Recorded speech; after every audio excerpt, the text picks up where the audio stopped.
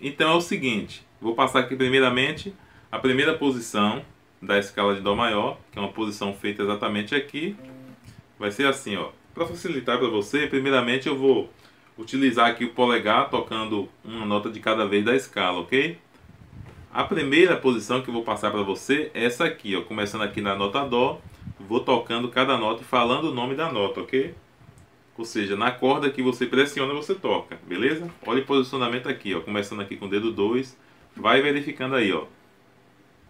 Dó, ok? Ré, Mi, Fá, Sol, Lá, Si, Dó, Ré, Mi, Fá, Sol, Lá, Si e Dó. Essa é a subida, ou seja, a subida da escala, saindo de uma região mais grave, é que você está subindo a sequência, ok? É a ordem padrão da escala de Dó maior.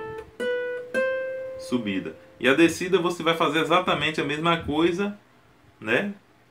Voltando.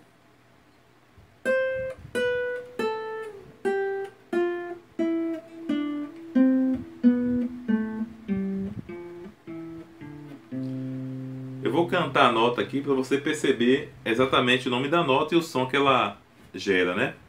Assim, ó. Isso ajuda também ao seu ouvido, para você acostumar o ouvido, para facilitar para tirar músicas de ouvido, ok? Ó. Dó, Ré, Mi, Fá, Sol, Lá, Si, Dó. Ré, Mi, Fá, Sol, Lá, Si, Dó. Voltando. Dó, Si, Lá, Sol, Fá, Mi, Ré, Dó, Si, Lá, Sol, Fá, Mi, Ré, Dó. Essa escala.